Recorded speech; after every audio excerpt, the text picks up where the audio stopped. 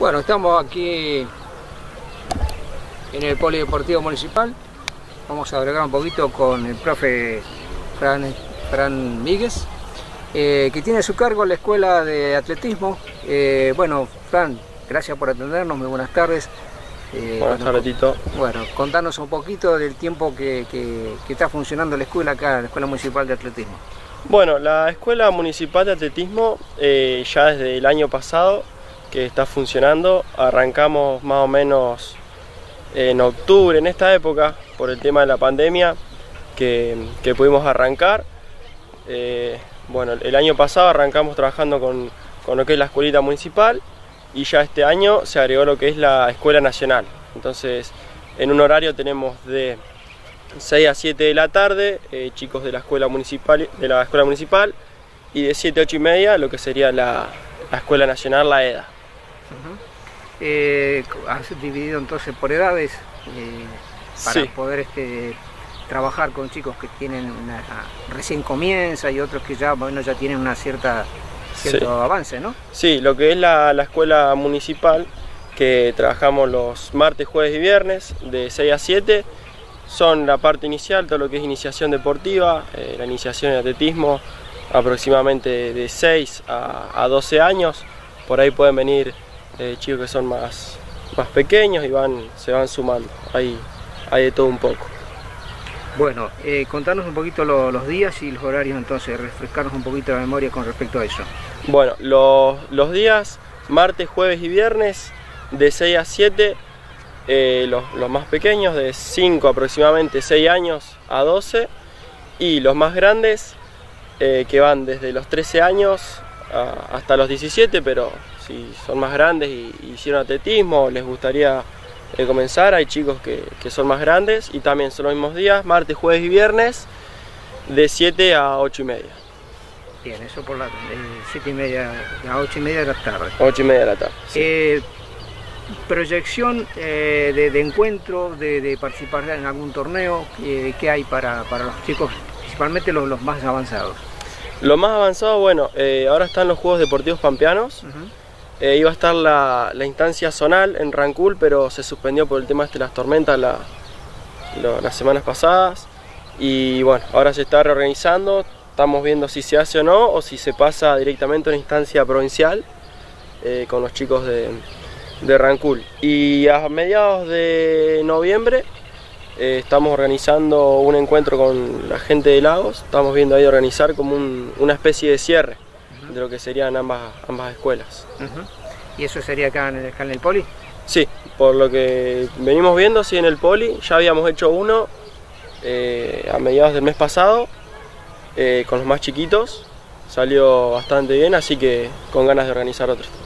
Bueno, ¿qué, expectativa tenés vos en cuanto a la escuela? Un, eh, una escuela de atletismo de que, hace muchos años que le, cuesta a, a Realicó poder reunir una cantidad y poder participar de, por ejemplo, haber podido participar de los torneos de la Asociación Pampeana que, que, que, Rancul, por ejemplo, hace ya mucho tiempo que participa, en Winca arrancó, incluso ha ingresado en la Pampa.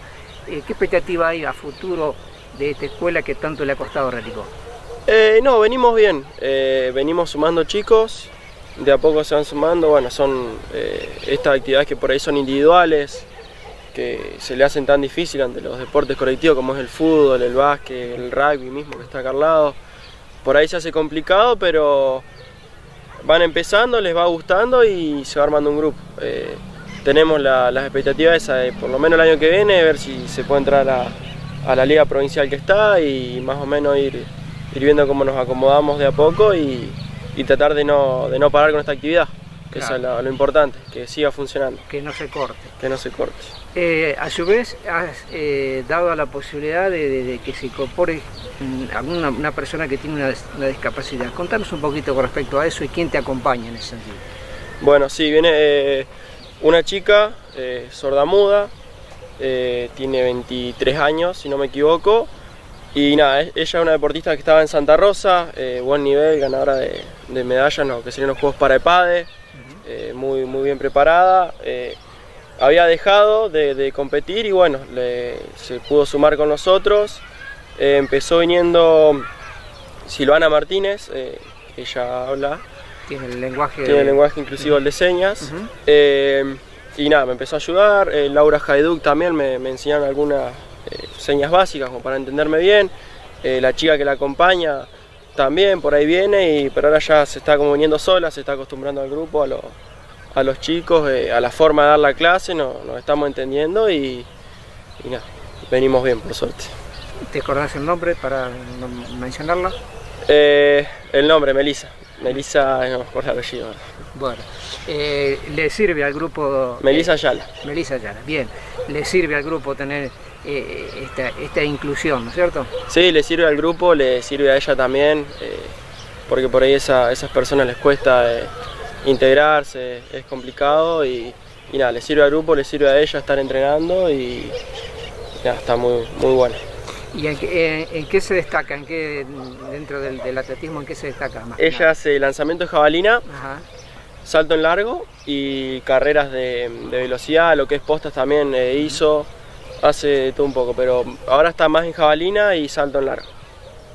Eh, ¿cómo, ¿cómo, ves los, chiquitos que lo ves entusiasmado así haciendo, por ejemplo, lo veíamos recién así haciendo eh, carrera, salto? Sí, sí, los chiquitos se entusiasman un montón, eh, van invitando a, sus amigos, a sus hermanos, eh, cuando estaban saltando recién eh, son todas hermanas, que, se van sumando y, está bueno, porque le van, como te digo, le van avisando a los amigos y se van sumando por ahí.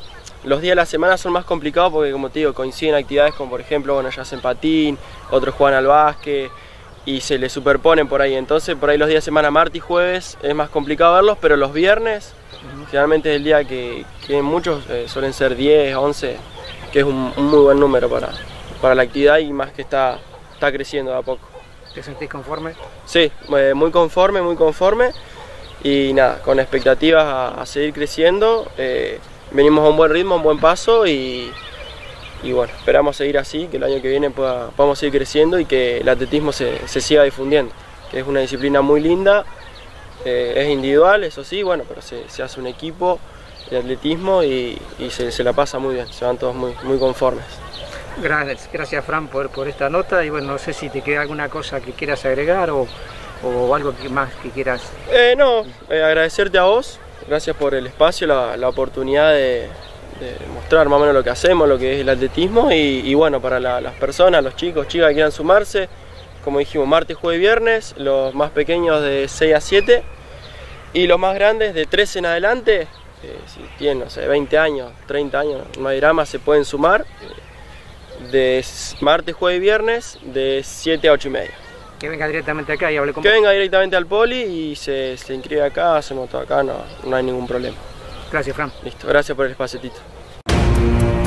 Desde el Ministerio de la Producción acompañamos la inversión privada desde una mirada sostenible, fomentando la diversificación de la matriz productiva, la innovación, la competitividad y la ampliación de mercados a nivel regional y mundial. Líneas de financiamiento bonificadas destinadas al sector productivo de La Pampa. Un proyecto, un Estado presente, una empresa, más puestos de trabajo. Potenciamos la pampianidad. Ministerio de la Producción, Gobierno de la Pampa.